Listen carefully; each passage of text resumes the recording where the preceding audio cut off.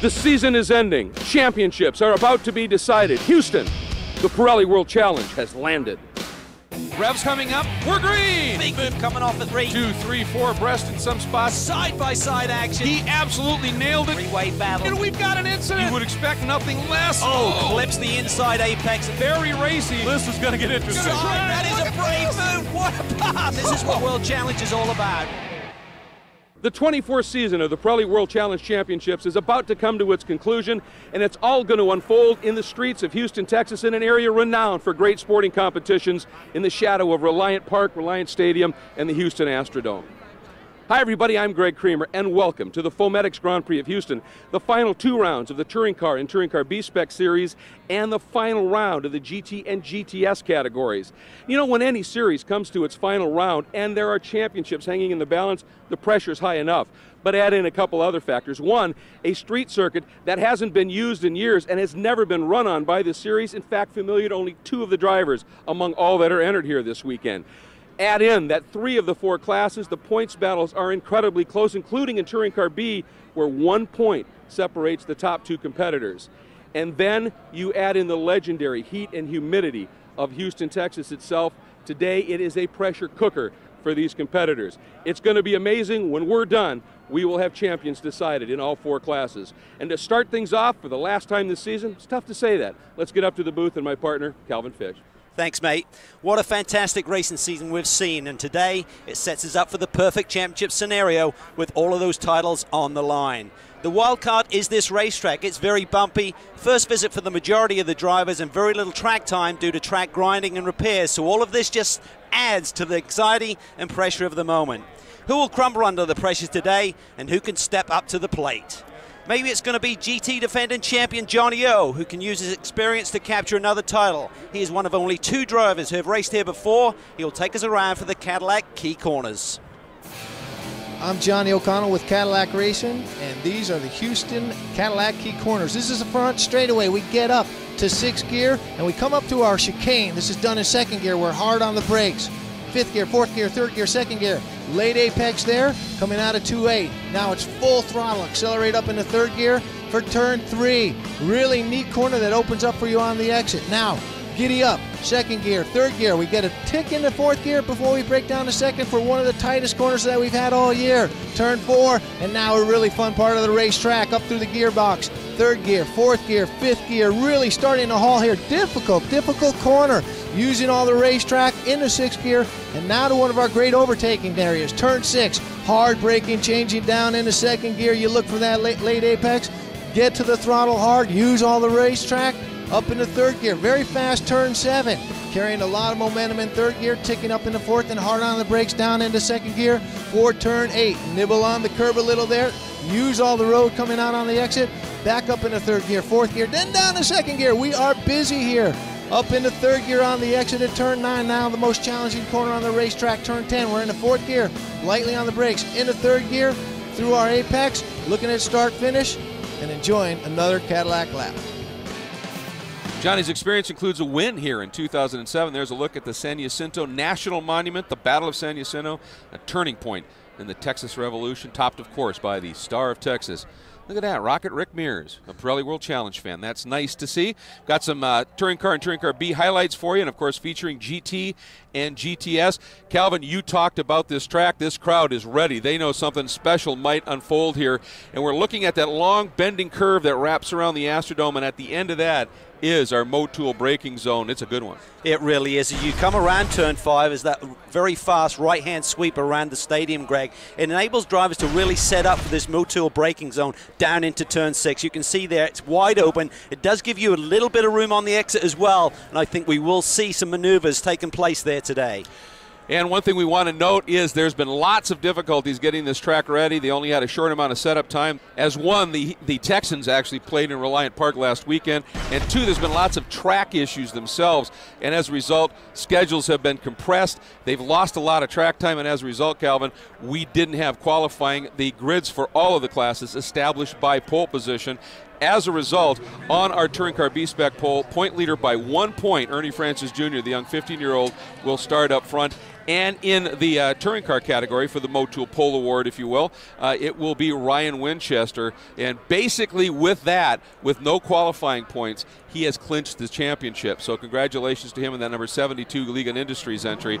And this is some of the highlights as we came to the green. Look at Michael Cooper there, that third place car, the Atlanta Motorsports Group Mazda, just doing lots of hunting and searching. Fred Emick had a wild run. That was the bump that had created so many problems. He was able to rein it in, and Winchester able to lead into that first turn, too. But right here, Cal, is where the Touring Car B Championship ended up on its ear. Look at this. Robbie Davis loses control of that Mini and takes out Ernie Francis Jr., our championship leader. Who would have believed the drama here on the opening lap? Unbelievable. Here's the onboard look from young Ernie Francis, and you can see Davis just got pushed to the outside, got in the junk out on the outside of that curb, swung around, collected. The 15 year old frantically signaling in the car, I want to go. He didn't realize he was broken. And as a result, Davis rejoined in 18th and started a huge charge. And this has huge championship implications. Those two boys are only separated by a point coming in. Meanwhile, up front, it was Winchester leading, but Michael Cooper in that Mazda looking very, very fast darts to the inside, then looks to the outside. Winchester staying put, defending absolutely beautifully. Doing a great job. Look for his sixth victory on the year. Look at this moment. Michael Cooper gets really loose. Sandberg flashes by. And Brett able to move up into second. He would then start to run down his teammate. Meanwhile, Tyler Palmer, the remarkable rookie, all over the back of the veteran Joe Liparini. See that mini dancing? Watch for it again in just a few minutes. Here is where Brett Sandberg went for the lead, which would eventually give him his fourth win on the season. He knew that his teammate already had the championship clinched. He could race him aggressively. Just great racing between the two teammates. Going there into the brake zone for turn four, makes that move stick. Cooper there in the background. Meanwhile, watch this move here. That green Mazda of Dave Alejandro little bit optimistic here, a little bit too late on the brakes, down into turn six, the braking zone, bang, into the side of Chris Capaldi and into the barriers he goes. Capaldi was his brake. There was no way that was yeah. going to work. Optimistic, maybe, was the word there. He would get a drive through penalty for that. But now, watch again that first mini in your screen. Robbie Davis continuing his charge up through the back, gets around Alejandro in that queue and was on his way. Meanwhile, watch Tyler Palmer here, a dance. Watch the hands on the wheel, flailing at it, controlled it, dives to the inside. The remarkable young rookie picks up the lead in that mini. Boy, what a great story he has been this year. His version of a Scandinavian flick there, Greg. That was beautiful. Yeah, the Black Forest Emig VW Mobil 1 Mini Cooper into the lead. Liparini, that was a 30-point swing for him in terms of the points would be huge. Shea Holbrook, that tricky turn three, catching her out. She got forced out wide. Yeah, she's frustrated right here. Just gets out in the gray stuff, out in the marbles. No grip there. Just clips the tires. You can hear her a little anxious inside the car as a result. But the damage, the tires moved on the track. The full course cautions came out, then the checker, and there it is. Brett Sandberg getting his fourth win of the season in the gear tie Compass 360 Honda Civic. And more importantly, behind him, you're going to see Tyler Palmer bringing home his first win. And that was a great story. But of course, it was the charge back to eighth for Robbie Davis, with Ernie Francis Jr. finishing officially in 19th. That had a huge implication on the Touring Car B Championship. Here are the race results Sandberg, Winchester. Great day again for Compass 360. Cal Cooper right there in third. Michael DeMio, his first ever start in fourth. The same thing for Landy. And in Touring Car B, Palmer Liparini, Ernie Francis Sr., but there in eighth, Robbie Davis. That's the huge development. That really is. Liparini still in with a shout for this championship, but dropping back to second, that hurts his chances for race two. And our Optima Batteries best start of the race, the number 32, 32 Racing Honda Fit of Jonathan Baker, moving wow. up seven spots. How did he get traction, Greg? It's amazing drove the wheels off that car, apparently, quite literally. Now let's take a look at our Sunoco Hard Charger Award. Chris Sneed doing a nice job moving up nine spots, but he got to the end of the race in his Sneed Speed Shop Mini Cooper. Congratulations to Chris. The Sneed well for done. speed, right? Sneed for speed, baby. And the Cadillac move of the race, well, that was pretty easy. It was Sandberg's big move here on Winchester. Cleanly executed, two very good drivers. Really nice job there. That was great, hard, clean racing between the teammates. Nice job in the uh, Kia turning point of the race, a no-brainer to start in Touring Car B. Well, just uh, you come into a final uh, championship weekend, you just can't believe that you could write a story like this one. Robbie Davis gets wide. In the drivers' meeting, they said you can't cut through there without potential penalty. That had to be in his head a little bit. Yeah, I think you're absolutely right. Our Motul Fast Laps of the Race Awards, Brett Sandberg getting it in Touring Car, and Robbie Davis in that comeback charge in Touring Car B Spec. And of course, the final round of the Touring Car and Touring Car B Championship based on race finish. And for this young man, Ernie Francis Jr., another twist. We'll tell you about that when we come back as we have highlights for the final round of the championship. Today's coverage of the Pirelli World Challenge Championships is being brought to you by Sunoco Race Fuels, fueling victories for five decades. By the Cadillac V Series, the 556 horsepower CTSV coupe, sedan, and wagon, the world's fastest family of cars. And by Pirelli, power is nothing without control. Welcome back to the Foametix Grand Prix of Houston here in Reliant Park in Houston, Texas, as we are getting ready for our second race of the weekend in Touring Car Touring Car B Spec, the season finale, and a huge development after the problems in that first race for Ernie Francis Jr. and his car being broken. His dad, Ernie Francis Sr., stepped out of his car and said, "Ernie, you take it. This is the only way you got a shot at the championship." And so Ernie, they had to fit a pad in it for the small young 15-year-old, but uh, he was ready to go after it. This was his shot. And as we sit now on board with Brett Sandberg, and of course, uh, part of that amazing Compass 360 team from Carl Thompson, and that is all part of the HPD support package. Earlier, we visited with Lee Niffenegger. When we went set out to develop the 2012 Civic Si, we worked with Compass 360 actually as, our, as one of our development teams. So they built the, the base car and we worked on a lot of the you know technical components. They're the ones actually running the cars while we're working on maybe the drawing side of it and the analysis side and working with the series. So we, we kind of have a collaboration with, with a team like this. We get a lot of great support out of HPD and it's the same support that any team could get from them. So obviously we got a very generous contingency program. It's great to work with a, a professional team, one that runs a lot of cars. We get a lot of feedback and data. We've done pretty well over the years. We're on, on track to win our second Triple Crown here, so that's driver, team, manufacturer. So obviously that relationship with HPD is working really well for us, and I think they'd agree that it's working pretty well for them. Racing is important to Honda in general, not just Honda Performance Development, because it you know really proves that the cars have speed and reliability, which is Honda's trademark.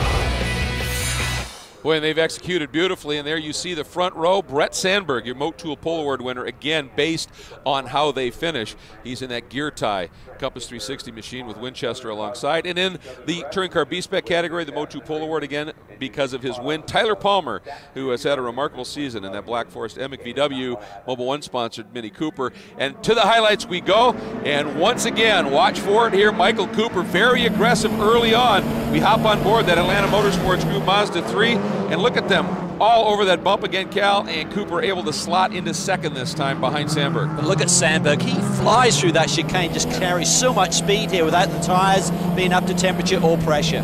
Now, this was a marvelous piece of racecraft by two very talented drivers. Cooper trying to go to the outside in our Motul braking zone. Turn six, Sandberg giving him room, and Cal, these two race clean for corners. They did, and watch the moment right here. Michael Cooper nearly loses. Remember the tank slapper from race one? This time he hangs on to it and gets the lead in the motor race. And finally, right there, executes.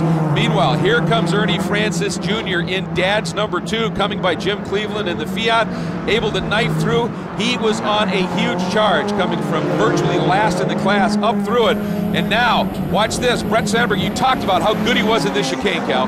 Yeah, he's just got confidence there, and with the street circuit, that's what you need. He just barrels through there lap after lap. But watch this moment. Mike Cooper loses his brakes nowhere to go except the back of Sandberg. It was a huge off. You can see the drivers dealing with the setting sun, but look at the impact there. That had to be a huge shock for Sandberg. Certainly Cooper, when he hit the pedal, nothing was there, and Sandberg just taken out. Sandberg frustrated but completely understood, of course, as they were visiting. And that ended the race under caution once again. So Ryan Winchester gets his sixth win of the season. Nicely done for him. And Tyler Palmer brings it home with a second consecutive win in the season finale. Remarkably, his eighth top four in only eight appearances. So here are the results. Ryan Winchester, Rashidi DeMio, another top three sweep for Compass 360. Emick and Sebastian Landy completing the top five. In touring car B, Palmer Lipperini, Gronke his first podium, but a look at seventh and eighth. Yeah, Robbie Davis just gets enough points, but look at this. Ernie Francis Jr., great drive through the field to eighth. If he'd have caught Robbie Davis, who knows what might have happened. Yeah, absolutely. Chrome horns may have been blaring and Lipperini may have been smiling. Optima Batteries, best start, Michael Cooper.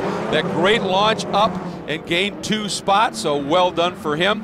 Then let's now take a look at our Sunoco Hard Charger Award, and it was a great one. Raymond Rushidi, the rookie, up from eighth to second, obviously gaining six spots with some great launches. And Michael Cooper, the Cadillac CTSV move of the race, with help from Sandberg, this beautiful Pascal, but also the Kia turning point of the race involved these two guys as well. Yeah, these two guys are in the thick of the action, and this is not the sort of action you want to see. Brake failure for Michael Cooper, just takes out Sandberg and takes him out of the lead of the motor race. And it was a big shunt. Both were okay. That was key. Then our Motul fast laps of the race. Not a surprise. Michael Cooper was hooked up in that Mazda 3 from Atlanta Motorsports Group, and Tyler Palmer on his way to his second win. Now let's take a look at our TC drivers' points presented by Volvo. Ryan Winchester claiming the championship. Sandberg and Rashidi a top three for the Compass 360 boys. Michael Cooper, who knows if he'd been able to run the whole season. And in the touring car manufacturers' points, it's Honda, a dominant season led by Carl Thompson's Compass 360 boys. Afterwards, Jeff Lepper caught up with our champion. So Ryan Winchester, you clinched it before the start, but way to finish it off. Yeah, thanks. Uh, we knew we had it clinched before we got out there, um, but as always, we want to go win races. Uh, unfortunately, I didn't have anything for Brett there in the first one. I wouldn't have had anything for him in the second one either, but uh, Cooper lost his brakes and took him with him, so uh, I was fortunate to win the second one. But uh, you know, at the end of the day, we got a championship, and that's what we're here for. Third in the points last year, champion this year. Touring car B-Spec. Robbie Davis wins it. Lipperini jumps to second. Ernie Francis Jr. in third. And again, Jeff Lepper found our champion after the race. 2013 Touring Car B-Spec champion, Robbie Davis. Robbie, man, you pulled it out. Oh my goodness! I at the beginning of the race, I had no idea that I would be sitting here right now being the champion. Uh, just a crazy, crazy race and really crazy season, but it's been so much fun. And uh, the key to it all is just being able to finish every single race, and that was my goal. And just to finish it in the top five didn't happen today, but every single other weekend it did, and that's what really got me here. We got to ask you about the incident in lap one. Yes, um, we were just starting three wide. Apparently, um, I didn't catch what happened behind me. I don't know if I got bumped or really there's just a lot of marbles out there, a lot of dust, and as soon as you get out there, you're done. And just lost control of it, nothing I could do. Luckily, car was salvageable. It's a little ugly right now, but uh, we were able to keep it running. I came back. Definitely want to thank anybody watching back at home. Super excited. Thank you all so much for watching. Um, and then, of course, the Mini of Charleston race team. Chris McAllister, Stuart Kestenbaum, and my father, as you mentioned, Brad Davis. Um, and thanks also to mom, who's at home watching this. It was an event-filled season, and it certainly was an event-filled race. There is your touring car podium. When we come back, we will have the season finale in GT and GTS at the Foametix Grand Prix of Houston. Stay with us, folks. Welcome back to Houston, folks. It's the Foametix Grand Prix of Houston. We are ready for the season finale in GT and GTS for the Pirelli World Challenge. And the heat and humidity of the touring car and touring car B-Spec races has evolved into, or devolved maybe, into cold and very wet, Cal. Maybe comfortable for you Brits, but not so much for the guys on the track. Can you imagine this, Greg? Oh. Another curveball for these championship contenders here today. Unbelievable scenario. But prospects for 2014, Cal, not dampened at all. Earlier, Jeff Lepper caught up with CEO of World Challenge, Scott Bove. The Pirelli World Challenge Series has seen tremendous growth, record numbers this year. What are some of the highlights that we've had in the 2013 season? I tell you what a uh, what a fantastic year we have had. I'm, I'm so uh, so pleased with the way the team has come together. All the teams, I mean the team, the World Challenge team, the SCCA Pro Racing. Uh, the entries have been uh, third-party validated. Everybody is talking to their friends, everyone's talking to other teams and bringing them with them. We've had a great interest from the OEs in Europe to bring their cars and showcase their vehicles. We've got uh, plans for next year to bring uh, Ferrari to the, to the GT class in a GT3 format. Uh, Porsche will be with us next year in a GT3 format. Uh, there are uh, no less than four or five other manufacturers that have made commitments to the series next year. Uh, these GT3 cars are factory-built, purpose-built race cars. What a great, great opportunity for the series. We're making an announcement uh, uh, at the awards banquet that Pirelli and Pirelli World Challenge are, are going to be signing an extension to the contract, five more years of Pirelli having the naming rights for the series, five more years of Pirelli being the official tire. What a, what a great opportunity for all of us. You know, on the driver's side as well, I hear some rumblings there about some new driver classifications in GT. Well, you know, um, we've always figured that the gentleman driver is the backbone of sports car racing. Historically, it always has been. We want to give these drivers an opportunity, drivers who are very good drivers but aren't necessarily paid professional drivers. And we're going to separate GT into two classes, GT and GTA. Uh, in the GTA class, we're going to have a, a, new sponsor this year. Came on for uh, for three years now. BRM watches. What a what a great partner it's going to be to win that watch and to win the Sportsman Cup at uh, Pirelli World Challenge GTA. Great things ahead in 2014, the 25th season of the championship. And uh, tell you what, it has become a destination series. That's awesome. Let's take a look at our Motul race analysis. Good field, but the weather's really the story here. Well, a mere 35 degree temperature drop, Greg. I mean, this is unbelievable stuff. Teams and drivers are going to have to adapt and adapt quickly. Absolutely, and of course, two classes on the track at the same time in these conditions. That is going to make things awfully interesting. It continues to rain. It is wet and slippery. Let's get to our Pirelli storylines, the first of which has got to be the track. Well, it's a new track for World Challenge, Greg. Only two drivers here. Johnny O'Connell and Nick Johnson have previous experience. Very compact schedule, which was reduced even further. No qualifying and no bonus points, which is significant today. It is huge because in both classes, the two championships are incredibly close. Johnny O'Connell comes in second in points to James Sofronis. He's got to work some magic today. Audi have an ace up their sleeve in this young German, Rene Rast. He is a star, and he is going to be Sofronis' wingman today. And Johnny, of course, has his full season partner, Andy Pilgrim. Now, both championships turned on their ear at Sonoma. Here's a look back at what happened and what might happen today. It is time for the 13th round of the GT and GTS championships to unfold here at Sonoma Raceway. All Cadillac front row, headlights flashing on O'Connell's car. Wonder if there's some. Oh, Problems.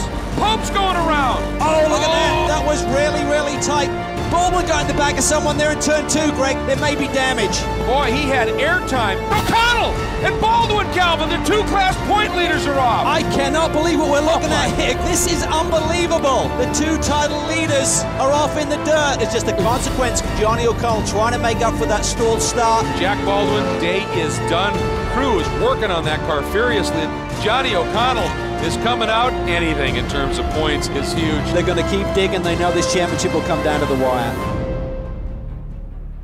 So huge championship implications at Race Sonoma last race out. Coming here, does that change for you, Johnny? You were right in the middle of that and sort of the cause of it.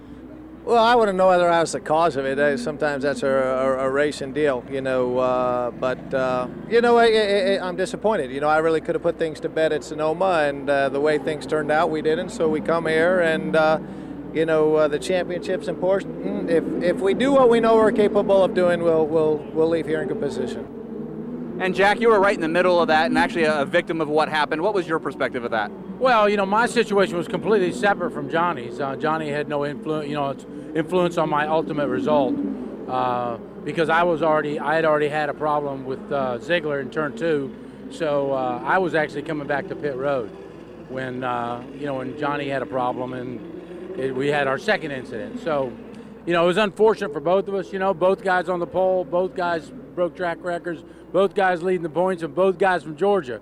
Uh, it wasn't a good day for the boys from Georgia, you know. But uh, here we are at Houston, and um, this is going to be challenging to say the least. Well, it'll definitely be challenging for both of these guys as they look to see if they can sacrifice a little bit of speed, a little bit of time here, and win a championship. Investigative journalist Jeff Lepper on the job. As you can see, they also have to deal, we've talked about it, with these conditions. It is not going to be pleasant, except perhaps for the guys in the all wheel drive Volvos. They might be grinning here as this is about to unfold. They might be grinning because they also had a special guest earlier. Houston Rocket point guard Jeremy Lin stopped by. He's a Volvo owner and enthusiast. And while he was there, Jeff Lepper found him. Jeremy Lin, here with Volvo today. Had your movie come out, the documentary on Friday. Kind of an inspiration for a lot of people. Tell us about that. Uh, it was a lot of fun. Um, got to watch it last night, and for me, it's just a chance for me to share my story with the rest of the world. And the main point behind it was just uh, showing Linsanity through my own eyes and how much God really did for me throughout the whole story. And truly an inspiration for a lot of people. And how about these Volvo? They have 60Rs. Man, how does this relate? You got to sit in it earlier to, to your car. Yeah, no, it's, it's pretty sweet. Definitely different uh, to sit inside a race car and how, how different it looks, but uh, for them to take a, you know, basically the same car that I have and, and change it up and make it into something like this, it's incredible. Basketball ends for you. You see you in one of these Volvo S60s? I'd love to take one of these around for a ride. This looks awesome. Boy, I'll tell you, the guys are going to take it around for a ride, have to deal with some interesting conditions. Let's get to our Motul Pole Awards in GTS. Again, starting on points, it is Jack Baldwin, no points awarded based on points coming in. Uh, so he will start there. That's going to be huge. And in GT for James Sofronis, maybe the biggest bit of news here is the opportunity to start with a clear track and not spray. That's a great point, Greg. Having a clear windshield and picking your way around this racetrack in these conditions for the first time will be key. He's still got to hold off Johnny O'Connell, a busy Jeff Lepper. Ask him how he's going to do that. Well, thanks, Greg. And the guy that benefited from all that was James Sofronis. James, now you're in the points lead. What are you going to do to carry that over here today? Well, I mean, here we are, Houston. It's hot, street course, street fight. Johnny O's been here a few times and won, so I got my work cut out for me. We got some help from Audi. We got Rene Rast co-driving with me this weekend, so that's a big help. The guy's an immense talent. But, uh, you know, I have to just worry about my own race. I have to just race like I'm going at any other race. And frankly, if I win, then there's no questions about the championship. If Johnny wins, I got to be in second or at least be right behind him. But, you know, there are a lot of sequences and scenarios that could play out. But I keep telling my guys, let's just let's just set the car up, go for the win, and just see what happens after that. It's going to be fascinating. I mentioned a busy Jeff Lepper, busy including getting married in Victory Circle in Houston on Saturday night. So, congratulations to Jeff and his new bride, Angela. All right, folks, it is time for us to get to that special command. Here's Claudio Burton of Foametix. behalf of Pirelli, Tire, Optima Battery, and Foametix, high performance insulation. Start your engine. And this great field springs to life. Let's get you to the starting grid. Again, set on points coming in. Sofronis, the Thermal Club Hoffman Powerways Audi, and the Johnny O'Connell driven Cadillac. Up front, the two championship protagonists. Row two, it is Andy Pilgrim, third in the points in his Cadillac, and Randy Pobst in the K-PAX Racing Volvo. And in row three, completing the GT field, Alex Figge in his K-PAX Volvo, and Rene Rast in the Global Motorsports Group Swisher Racing Audi. Cal? On the GTS pole, our championship leader, as he has been all year, Jack Baldwin in the Foametix, Porsche came Cayman. Next to him, Lawson Aschenbach, five-time winner this year, in the Black Dog Speed Shop Chevy Camaro. Row six is our final championship contender, Mark Wilkins in the Brakes Kia Motors America Optima, alongside the very quick Andy Lee in the Best IT Chevy Camaro.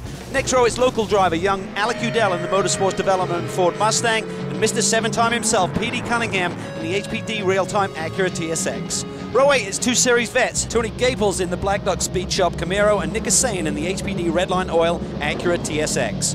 Next up, Brad Adams in the Voodoo Dat Dog Yo MTV Raps Mustang and the very rapid Nick Johnson in another Kia Optima.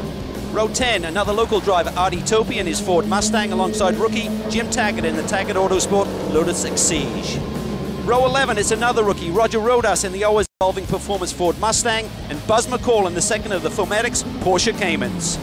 Rick Mache heads row 12 in the Motul Sparco Nissan 370Z and rookie Mitch Landry in the Versacrane Ford Mustang 302S.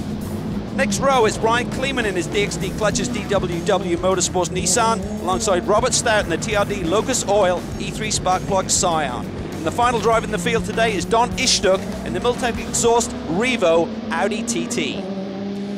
So that sets our starting grid. The field right now being led around by the remarkable CTSV pace car from the folks at Cadillac.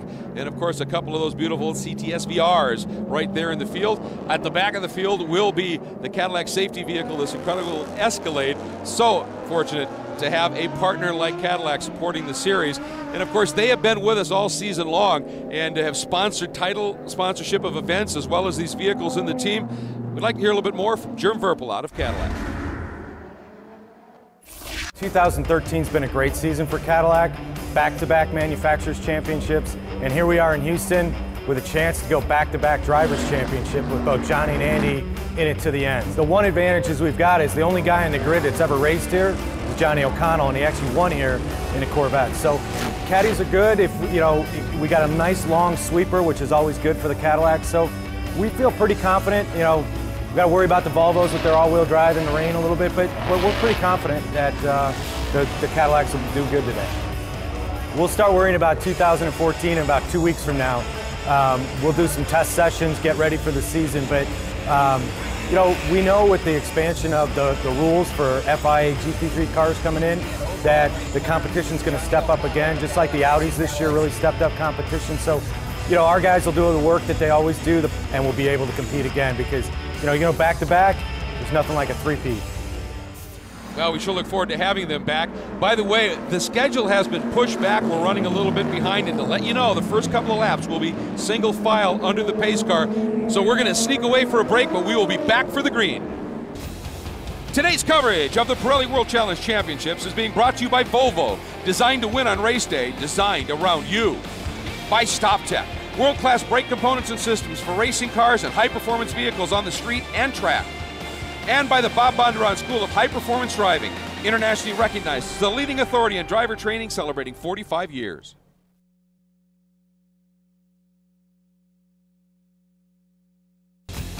The Pirelli World Challenge Championships are being brought to you by Motul, the official lubricant and brake fluid of the Pirelli World Challenge. By Eibach, the world leader in high performance suspension. And by Kia Motors and the Kia Optima. It's not your average midsize sedan. Welcome back, everybody. It's the Foametix Grand Prix of Houston season finale for the GT and GTS machines in the Pirelli World Challenge. Again, running a couple of laps here. They are counting, but under caution. Green flag coming up in just a minute. But we were talking about earlier with Scott Bove some big announcements about GT3 machinery coming into the championship. And one of them is going to be coming from an American company, SRT, the performance arm of Chrysler. And a few weeks ago in Baltimore, we caught up with SRT Motorsports' Gary Johnson to tell us about this exciting new program, the Viper GT3.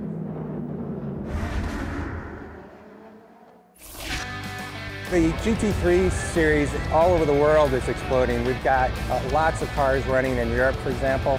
We have customers there, and they're also asking for new cars. So it just makes sense to bring that specification of car into the Pirelli World Challenge Series. It's great that they've uh, agreed to bring in the car as a GT3 spec completely with all the aero. You see the dive planes on the car and of course the big rear wing, that's all GT3 spec.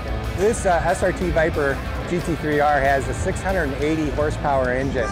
It's got a Xtrac transmission, sequential paddle shift in it. It's also, of course, lighter than our last car, but it's a lot wider, so it's got a huge track on it, and it's going to really perform well. The SRT group is really looking forward to developing this car, making it available to customers, and having them run it in the Pirelli World Challenge Series. We're anxious to get it out to them and let them have fun with it on the track. Well, I think we're going to have fun calling it on the track. That is a wonderful program and a great announcement, Cal. It's a beautiful piece, and uh, it's ready to go. Looking forward to it. Let's get to our GoPro Quad Box presented by Kia, Cal. Top left, we're looking at the 61 car. of Jim Taggart He'll roll off 10th in GTS, then the number 11 of Tony Gaples. He'll start 7th in the GTS field. Alec Udell, local boy, will roll off 5th. Rene Rast, look for this man. He should be quick in the rain in that Audi, the Swisher Audi, typically campaigned by Bill Ziegler. So that's some of the great onboards we're going to have. I think a great idea to give these guys a couple of laps under caution. Didn't have a lot of track time, certainly none in the rain on this track, but pace car is in. It is time for us to go racing and get this season concluded, get the championships decided into that tricky final corner, if you will. James Sofronis bringing them around. Watch for it. Green flag. The season finale is underway. Right away, Randy Pobst takes a look down to the inside of Pilgrim. Can't get it done, Cal. Well, you'd have to think that those Volvos in these conditions will be the favourites. Look at Rene Rast down to the inside of Alex Figge into that break zone for the chicane. Boy, wasting no time. He knows his role. Slots in right behind. And look at Again, Aschenbach all run sideways in the background. Boy, he's feeling the heat and these uh, conditions. And Alex Figge trying to get down underneath Rast and his teammate, and he gets it wrong. It looks like he got into the barriers, Cal. Yeah, really late move here. I don't really understand this. It's really not a hard braking zone in these conditions. Just gets it all wrong. Clips his teammate and Rene Rast. He's in the barriers too. Oh, unbelievable. On board with Randy. One more look at it. There he comes across. And you wonder how much damage is to Randy's car and also to Figge's. There's the yellow in that corner. And Rene Rast able to continue. Looks like he got away with it relatively unscathed. Yeah, the car looks clean, which is good news for Audi. They need him here today. And right now, let's reset things. If Sofronis wins, he wins the championship. If O'Connell wins, he wins the championship. Not quite so settled back in GTS. And look at Lawson Aschenbach. He knows he has to win, wasting no time, forces his way by Jack Baldwin. Now he's got to just lead every lap of the race. Those bonus points for most laps led could be crucial. Unless Jack Baldwin has problems here today, Aschenbach realizes he's got to get the victory and he needs bonus points as well. Everything to play for, he is going for it. Yeah, really, Lawson's got to win. Jack's got to finish third. Lawson's got to get every or the most bonus points for laps led. If Jack somehow ends up outside of the top three and Lawson wins, he'll have it. But let's not forget there's a third guy in the mix named Mark Wilkins. Yeah, and he's fading. He is really fading. We're hearing from the pits that he's got some kind of ABS issue in these conditions. Andy Lee runs a strong third. Cunningham is up to fourth already. Boy, and Cunningham fastest and look at Baldwin sideways. Cunningham fastest in both practice sessions. You'd think he will be a player early times here in this season finale. Leading out front and overall, it's James Sofronis and GT, GTS, Lawson Aschenbach. This is how racing should be. The top sports car racers in North America. 50 minute, door to door, all out sprint races. Standing starts and zero scheduled pit stops. A battle of the brands with over 18 manufacturer brands racing. Watch us on the NBC Sports Network and online at world-challengetv.com. The Pirelli World Challenge. This is how racing should be.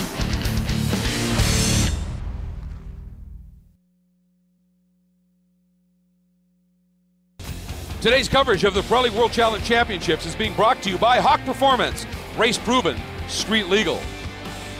By GoPro, the world's most versatile camera. And by Optima batteries. With twice the life and 15 times the vibration resistance, Optima batteries really are the ultimate power source. The rain has let up here at the Foametix Grand Prix of Houston, but the track's still awash. Randy Pobst trying to find a way by Andy Pilgrim for third. Up front, it is still Sofronis, O'Connell in second.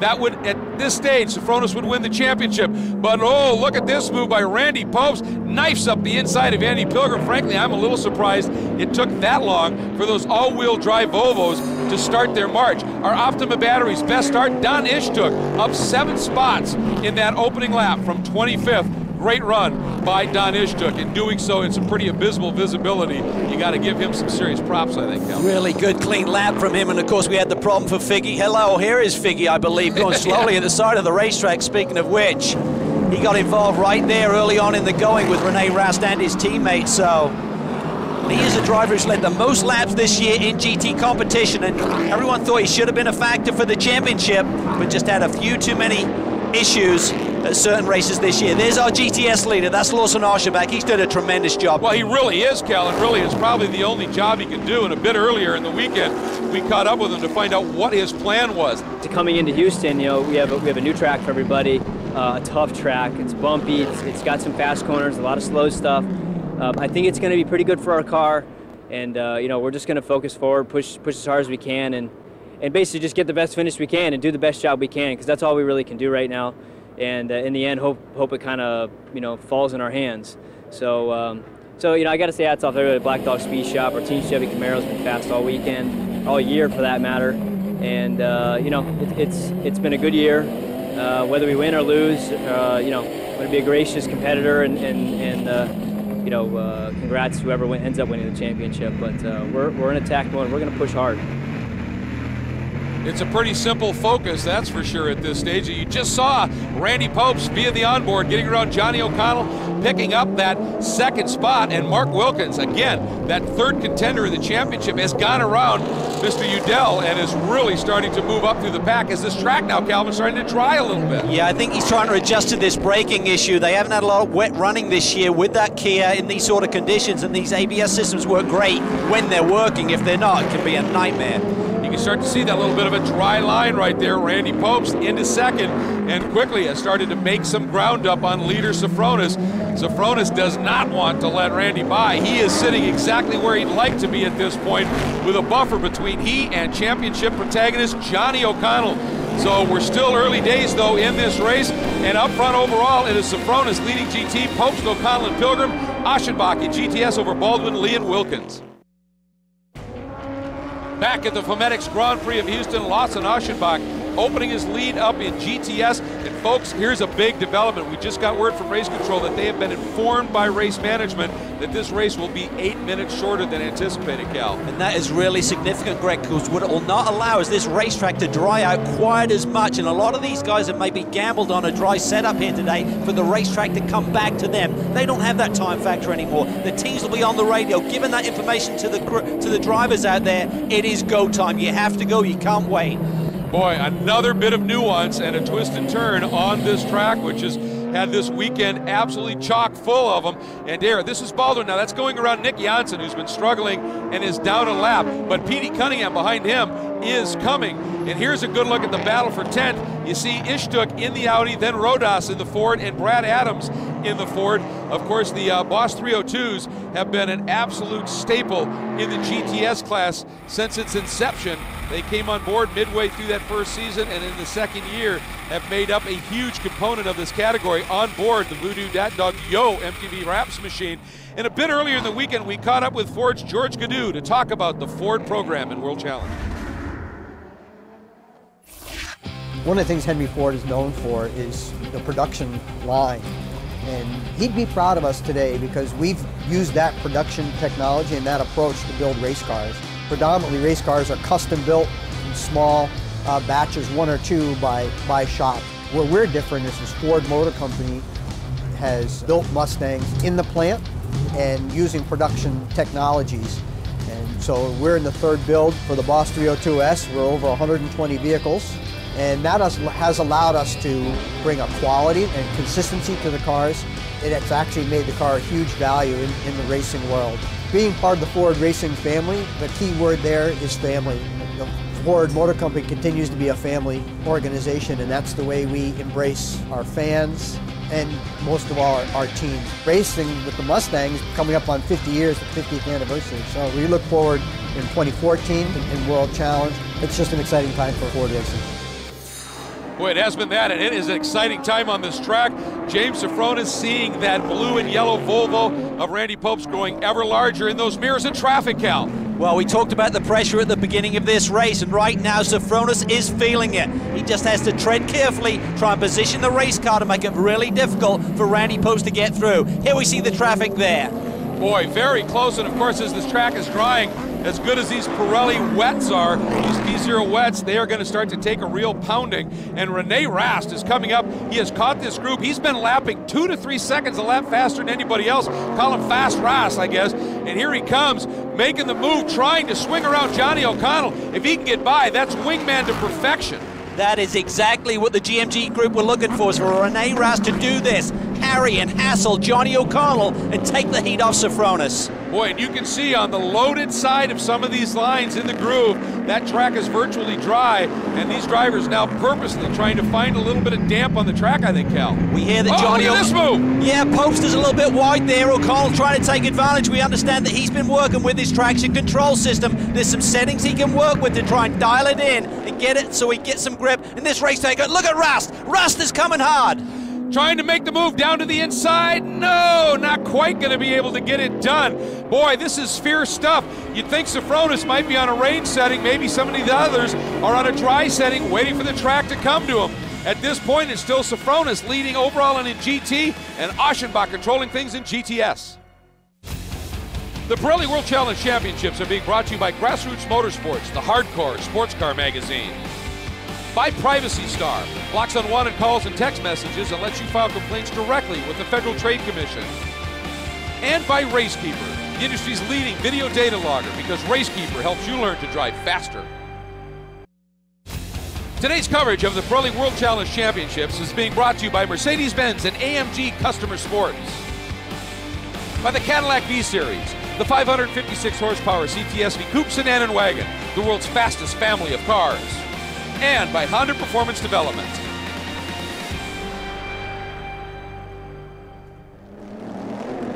Welcome back. The line is well and truly starting to dry here at the Foametix Grand Prix of Houston. You even see a number of cars now have the windshield wipers off. And this is going to be interesting to see if cars had a dry setup and the track is coming to them. If cars had a wet setup, that is going to be going away. And you're going to see these guys certainly hunting for wet spots on the track to keep these Pirelli P0 rain tires alive, I would think. There's your run order, a four-car battle for the lead. And Randy Pobst looking very racy right now, Cal. He's looking racy, but I tell you what, James Sofronis has done a stellar job at the front of this Yeah. field. He has maintained pace, he has positioned his car beautifully, and now he's got his wingman right there in the background. This is what they set up for this weekend. Let's bring in a really fast guy, has a lot of experience in one of these race cars, see what he can do. Absolutely. He has been uh, spectacular, as we talked about, his speed. And Randy Pobst doing a nice job at Sofronis. You think about it, in these wet conditions, Rast thinking about it, he's going to go down the inside of O'Connell. He does it, Greg. He this gets is it. our Motul break zone. He gets down to the inside. O'Connell is in trouble. Championship on the line. Our defending champion. He's back to fourth. Oh my, this is a huge development. And now Sofronis, though, a little wide there. And here comes Pobst. He got a nose inside, not quite enough. And he's going to have to slot back. But Sofronis leading early in this race in the wet. You're the first guy into these corners. It could be a mess. Oh, but this time Randy got a run. Sofronis moves over a little bit. Randy's there, and Randy's through. Can he hang on at the exit? That all-wheel drive plants that car a new leader. So as fast as O'Connell's demoted, so is our leader Sofronis. Sofronis is still in good shape. Positions right now, he is in great shape. Even if O'Connell gets up to third, he will still clinch the championship. That is Sofronis. So he's still in the catbird seat for the championship right now. I think the racetrack is going away from him right now. Pobst has been very patient with his all-wheel drive Volvo, but he's gone to the point. Boy, and this is interesting, isn't it? Suddenly O'Connell is really starting to ramp the pressure back up on Rast. You were talking about the reports from pit lane that he was working with his traction control. As it dries, maybe he's hit that sweet setting because suddenly that Cadillac has come alive. Yeah, and look what Rene Rast is doing. I think he's backing up Johnny O'Connell. He is doing the perfect job. He's got in between Sofronis and O'Connell, and he is backing him up. O'Connell looking for the wet. He's looking to cool down those wet tires, maybe get a little bit of grip later in this race. But this is the perfect scenario. Look at Rast. He's backing him up in the apexes of these corners. O'Connell will not like this. Oh, and O'Connell tried to force his way through. Yeah, absolutely. Rast just doing a little bit slower roll through the apex, and that is really got Johnny O'Connell, I'm sure, in fits right now. We hop on board now. Lawson Aschenbach still leading in GTS as he has from the second lap. He needs those most laps led points. And of course, he is running an Eibach suspension. We're going on board with the Eibach suspension cam. And I would think on this track, Cal, it's taken a beating. And like Lawson said, this should be a good racetrack for us. It's bumpy, you've got hard brake zones, you've got some fast corners. And he and Mark Wider, his engineer, have really done a beautiful job in getting the setup perfect for the first half of this race. Right now, he's got the grip. Those Pirelli tires are working beautifully. The Eibach suspension is doing its job. Lawson Aschenbach, he knows how to win championships. He's doing the job right now, Greg. Boy, that he is. Things are hotting up in both classes here in Houston. The World Manufacturers Championship in 65, one of the most legendary duels in motorsports.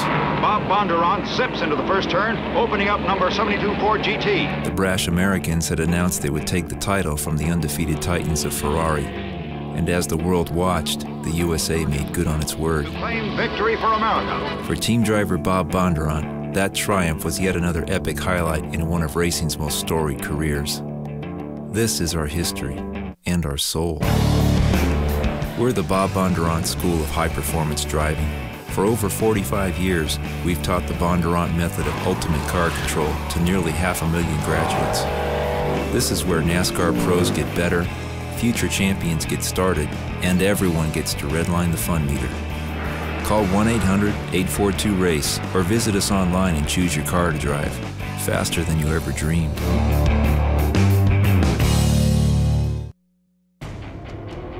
The GTS Points Championship mass simple right now, but it might be getting complicated here at the Foametix Grand Prix of Houston. Even though Aschenbach is leading, Baldwin sits second. That's enough. There's Baldwin in that Porsche right there. That's enough to clinch the championship. But P.D. Cunningham is coming. If he pushes Baldwin to third, suddenly this is going to get interesting. Oh, that was O'Connell into the back of Raskell, and I think maybe O'Connell said enough. Yeah, I think so. I mean, Rene was trying to just create a gap between. Oh, and O'Connell's now wide. Big question mark. Remember Mid Ohio when that caddy got some front end damage? It burst a radiator, Greg. Is O'Connell in trouble from that incident? You see a little bit of the front bumper there, damage to the left corner. Boy, I'll tell you, there's so much that can happen here. And he got through, then skated wide, Rast right back through again. So O'Connell has to start that charge once again. But Calvin, that Cadillac, as this track is drying, looks like it is well and truly coming alive. I think they may have had a dry setup on that car, and it's starting to pay off. It is starting to pay off, but I tell you what, Johnny O'Connell is running out of time, and this factor of Rene Rast is really playing into this championship scenario. Johnny O'Connell has to use every inch of his experience right now. And if you want to follow along with exciting action like this, remember you can do it with our social media, world-challenge.com for all the latest news and views on the Pirelli World Challenge, world-challengetv.com. You can check out the cool in-car video, driver interviews, watch this race and all the other Pirelli World Challenge races online here. Facebook, search the Pirelli World Challenge fan page, interact with other fans, and on Twitter, join the World Challenge Twitter account at twitter.com slash WC Racing. Instant updates on great action, and it is furious here, Cal. Boy, you want to be able to follow along even in the offseason. You can rewatch everything, what a year it's been. It's been a fantastic season. I tell you what, Sofronis now is having to delicately pick his way through this traffic. Remember, there's a dry line, so if you go offline, you can't carry the speed that the traffic has potentially through the apex. So, treacherous times for James Sofronis. Critical point in this championship. Also on the right, we've been watching Jack Baldwin's progress. That is not Petey Cunningham. That's Nick Kasayan, his teammate. But Baldwin took him a while to get around Brad Adams, and that has allowed Cunningham to close up on his rear deck. So things getting pretty fierce right now. And Johnny O'Connell still trying to figure it out all the while. Randy Pobst that all-wheel drive Volvo, is just easing away, but he's coming up into a bit of GTS traffic. Yeah, Pobst is looking really comfortable up front. Brilliant race by Randy, just really patient in the early going. You expected that Volvo to go straight to the front. He realised the big picture, of this championship's on the line. Don't take either O'Connell or Sofronis out of the action. Just try and ease your way to the front. Look how sideways Rene Rast is through that right-hander. The fast sweep of turn five. Yeah, unbelievable. And here's a question for you. O'Connell down the inside. Oh, RG barged his way right through Calvin stealing your line, makes the pass stick. This now makes things interesting for Rene Rast as something's up here. Sofronis is coming back to these guys. I tell you what, and something's up. O'Connell is angry. I don't think he's like the games that Rene Rast. I'm sure he appreciates his talent, but right now, I'm not sure he liked the games that maybe Rene Rast was playing. Oh, nice job there by Rodas to realize there are two, three cars coming through. Rast got a little bit of a run here. Sofronis is in trouble. I think the track, and the conditions to his setup are going away from him. O'Connell's are coming to him. But remember, if Pobst wins, if O'Connell gets up to second, that is still okay for Sofronis with the championship. Yeah, that's the huge thing. That's that huge point swing of 30 points first to second. That is key here. And right now, if O'Connell is able to get by, it's all right as long as if O'Connell wins it, it's game over. If Sofronis wins it, it's game over. But behind that, it gets interesting. Ooh, that was helpful for O'Connell as Rast got a bit bundled nice to up the inside there. What a move! He gets him. He gets him. He clears him. Next target is Randy Pobst. This is not enough for Johnny O'Connell. He has to get to Pobst, our leader. Well, obviously he paid attention to that call for the crew that this race is going to end up short. You got to go now. He has dialed it up. And now Rene Rast, he's what is he going to do with Sofronis? This has got huge complications and implications. But it's Pobst leading overall in GT, Aschenbach in GTS. Wow. The Pirelli World Challenge Championships are being brought to you by Audi Sport Customer Racing. By the Cadillac V Series, the 556 horsepower CTSV coupe, sedan, and wagon, the world's fastest family of cars. And by Ford. Go further.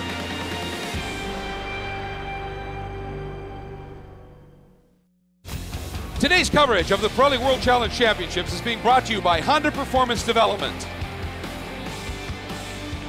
by Porsche,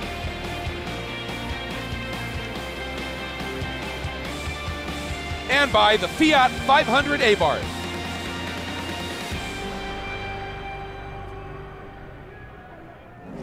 Furious action in the GTS. Oh, and a hit! Cunningham just got into the back of Baldwin, knocked him sideways here at the Foametix Grand Prix of Houston. Wow, he kissed him right there, Greg, and this is significant. The GTS team will be on the horn to Jack Baldwin, saying with Lawson Aschenbach dominating this race, you have to hold on to second place for the championship. It's all to play for. And here we're on board with Randy Pobst. Caught up behind Andy Lee for just a moment, and here comes O'Connell. Oh boy, that's a saying. Nice job by Nick, realizing that he was going to come through. One car splitting right now your overall leader, Pobst, and O'Connell. And if he can catch Pobst, here he goes. He's around Lee and coming up on the back of Pobst. Meanwhile, we're back here. This is Brad Adams, and I think this is going to be that's Andy Pilgrim and Rene Rast. They're at it again. Yeah, they're going side by side there, but O'Connell is in attack mode. It is go time, and he is coming fast. Look at him there, dealing with traffic. There's Popestar leader down the inside of the GTS championship leader, but he will only stay as the championship leader if he can hold off Petey Cunningham, who's right in his wheel tracks. Yeah, good point. Keep in mind that with Lawson Aschenbach getting the bonus points for most laps led, third won't do it for Baldwin. Here comes Cunningham. He thought about it, then he had to tuck right back in. And keep in mind, folks, Petey Cunningham, the consummate street course racer.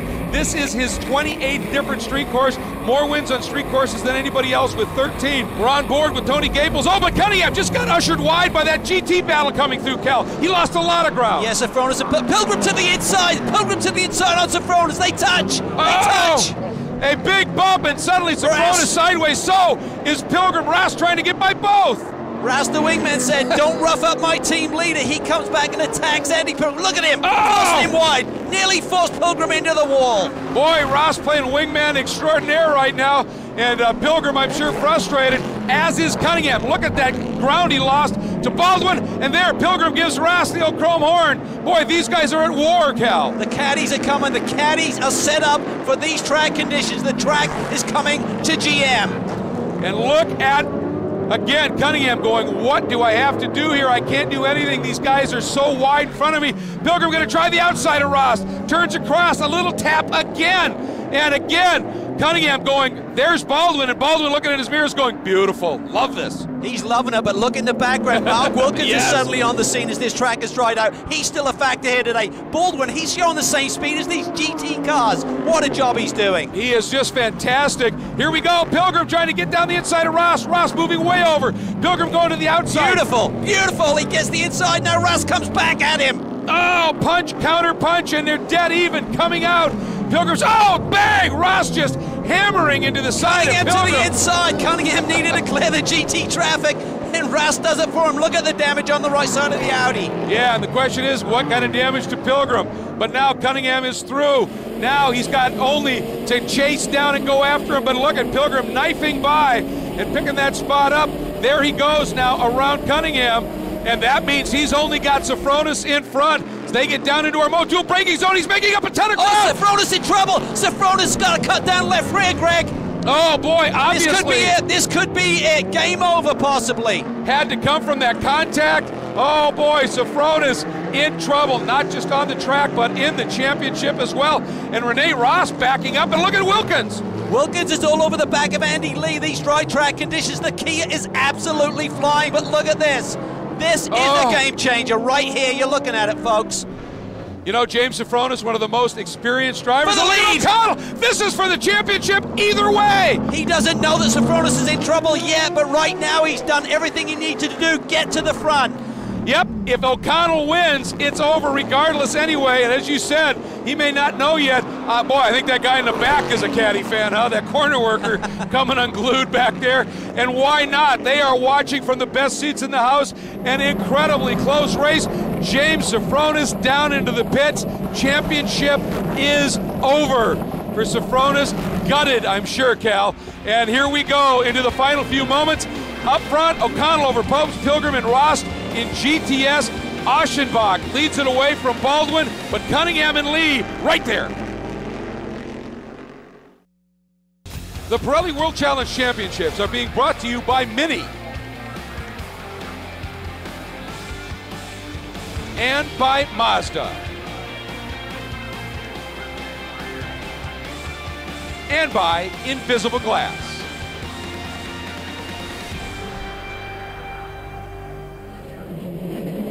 GTS Action Furious here at the Foametix Grand Prix. We're on board with a flying Mark Wilkins. He is absolutely on it right now, battling with Andy Lee here for the fourth position. Kia doing a great job all season long in this championship. We checked in earlier with Scott McKee. 2013 is our second year in the Pirelli World Challenge, and we have to look back on it and say it's been a really successful year. Uh, we've had five podiums, two of which were victories. Motorsports resonates with everybody. Whether they're watching on Sunday or not watching on Sunday, if we let people know that we race and we win, they feel better about our brand. And that elevates the brand, and that means that we're on more people's consideration list, that they're shopping Kia, that they're not thinking about Kia as the old Kia, which was more about discounts. Uh, now it's more about really great products that are exciting, that get them kind of emotionally engaged, and that they want to consider, uh, you know, to have in their own driveway. No matter what, 2013 is, it should be considered a win for Kia and for Kinetic Motorsports, our partner. But then we look beyond that, and what do we do next year? Uh, Kinetic has been a fantastic partner, so we want to stay with them and we want to grow with them. And now we have to figure out what we do next to keep elevating the Kia brand. Well, and right now, Mark Wilkins is elevating the positions here. He's working on Jack Baldwin, and this is huge, Cal, because Yeah. there, Petey Cunningham has gone by him. And that's enough for Aschenbach. If Aschenbach continues to lead this race, he gets that checkered flag. Baldwin in third, clinches the championship for Aschenbach. Here comes Wilkin to the inside. He's on the damn part of the racetrack. Oh, you can hear that engine, that engine note as he's skating on those brakes, but he's through. Baldwin is struggling. Baldwin is struggling here today. Did a good job in the beginning of this race, just being patient, being smart. But right now, he does not have the pace. Wilkins is absolutely flying. The question is now, can he catch Cunningham? Can he potentially catch Aschenbach? Yeah, that's the huge thing because remember, Wilkins only a point behind Aschenbach coming in. Aschenbach has led, as you pointed out, clinched those points. But if Wilkins is fast enough to catch him and pass him, he might just win this whole thing here. And but look at that car, he's skating around everywhere. Unfortunately for Jack, that Foametix Stop Tech Motul car seems to have gone away. But up front, Johnny O continues to lead away. We go on board with uh, Jim Taggart here, and just on board through this Lotus. I think we're going to see some shots of some cars coming through. Yeah, there you go. That is our leader. And O'Connell has played this to perfection, Cal. He really has. I mean, but he felt that he, he really realized that I was in trouble. I had to go in attack mode. The car was coming to me, dialed in that caddy, and boy, oh boy, he used all of his years of experience and his track knowledge to great effect here and has got the lead of this race. Absolutely. And of course, for Baldwin, slipping back to fourth. Oh boy. White flag, last lap for Johnny O'Connell. He is in a position, still a treacherous track, but he's negotiated it beautifully so far. And of course, now blue sky starting to appear, uh, just the way this weekend has gone. But for Johnny O'Connell, he might be on the way to a second consecutive Pirelli World Challenge GT Championship. Yeah, two races outside of the top 10. Suddenly it was all to play for on the streets of Houston. And what a curveball this racetrack has thrown us. It was bumpy. We didn't have much track time. Then there were track problems. No qualifying. That is all of the pressure anyone can handle. And Johnny O has handled it beautifully. Hasn't he? Looking at potentially an amazing uh, fifth win on the season. And here is Lawson Aschenbach. Here's James Sofronis, who's back out, but you can see he's still got issues. Look at behind yeah, him, though. Cunningham's, Cunningham's coming. with Wilkins. These guys are catching Aschenbach. His car has gone away a little bit. He's on a full wet setup. Yeah, he was brilliant, obviously opening up that huge lead, but he might just need every bit of that lead. O'Connell, last time, winding through the serpentine back section of this track, heading toward a checkered flag and a championship. But Aschenbach, he is uh, maybe in a little bit of trouble here. We'll have to watch as soon as O'Connell comes through. Pobst's there, not close enough. Here he comes, Johnny O, Johnny Red, the man from Flowery Branch, brings it home. A second championship for Cadillac. Cadillac, of course, clinching already the Manufacturers Championship, Cadillac Racing, the team championship. Johnny O, what a great story. But what's unfolding here? Oh, Yes, look at how tight. close this is. They're really close. They're closing in, but they're running out of corners, Greg. Here's back through the final curve. He's going to do it, but by the slimmest of margins. Wilkins trying to take second. Aschenbach gets the championship, his third in three different classes GT, touring car, now GTS. But by far and away, the fastest guy at the end was Wilkins in that class. Wow. Here we go. Our results in GT O'Connell with the win in the championship. Pobst and Pilgrim, even with a drive through for contact with Sofronis, gets third. Here's the GTS results. Well, Lawson Aschenbach hangs on, but Billy Cunningham and Wilkins were coming fast. Another lap or two could have been a different story, Greg. Yep, Baldwin there in fourth. That wasn't enough. And as a result, Lawson Aschenbach is going to be your GTS champion as you take a look at the rest of the field. Boy, what a great race to end the season on for Johnny O out of the car, celebrating down there. Jeff Lepper will be with him in just a minute. But first, let's take a look at our GT drivers' points presented by Volvo. And at the end, who would have imagined it but O'Connell coming through for the championship over Sofronis, Pilgrim Pobst, and Alex Figge. Unbelievable. Now to the manufacturer points, Cal. Well, up the top, we see the boys from Cadillac. Just a great job this season with Pilgrim and O'Connell. Audi Sport Customer Racing, a brilliant performance all year, narrowly edging out Volvo. Let's get down to Jeff Lepper with our winner and champ. Johnny O'Connell, race win, but more importantly, the championship. I got to tell you, that was hard work. Awesome, awesome racing. And uh, I can't be more proud of my, my Cadillac guys. You know, the effort they put in all year. And there's nothing like it coming down the wire and needing to get a win. There's a little extra motivation. So, uh, you know what? I, am the luckiest guy in the world. I got Mikey West. I got all the guys on my team. I got great executives at Cadillac that, you know, want the world to know that this is one hell of an athletic car. So, uh, man, I'm just, uh, I'm a lucky guy today. And back-to-back championships. Which is great. You know, I was liking that. And, uh, you know what? I got to tell you, you got to give a lot of credit to James Sofronis, how he drove early in the wet there. He did a great job. You know, his teammate tried to make my life a little bit difficult. So, you know, we had to, uh, we had to get by him. But, uh, you know, great job by everyone at Cadillac. You know, some days you got to dig deep, and we dug really deep today.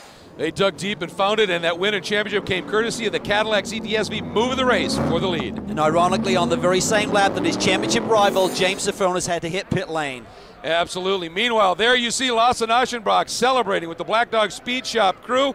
Well earned indeed. Let's get now to our GTS uh, drivers' points and presented by Volvo. Aschenbach gets the win. Look at the margin to Baldwin. It was that close. Wilkins third, Andy Lee fourth, and Peter Cunningham in fifth.